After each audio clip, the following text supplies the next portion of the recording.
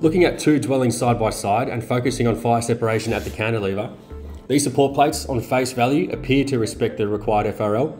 The support plates are spaced as per the installation guide and are fixed to alternating sides, meaning each dwelling can independently support that party wall. The insulation component is respected by having fixings on one side only, eliminating that thermal bridge. However, the welds to the supporting beam are not all round, which will be queried, Always refer to the approved plans to ensure that these beams are designed to support the additional load and what the fixing requirements are. Now the overall cantilever in this case is approximately 2.4 metres and the overall height of the supported party wall must fall within the design parameters of the manufacturer's installation guide.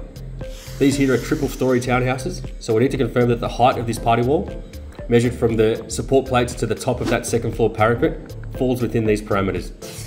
In this case, if that height exceeds 6 metres, it cannot be deemed to comply with that manufacturer's installation guide.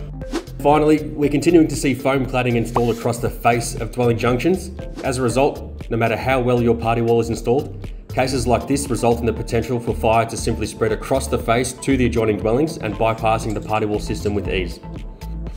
So overall, when it comes to maintaining fire separation, Ensure all design documentation is reviewed and that each component has been installed correctly and within its design parameters to best ensure we are protecting our buildings and their occupants from the spread of fire.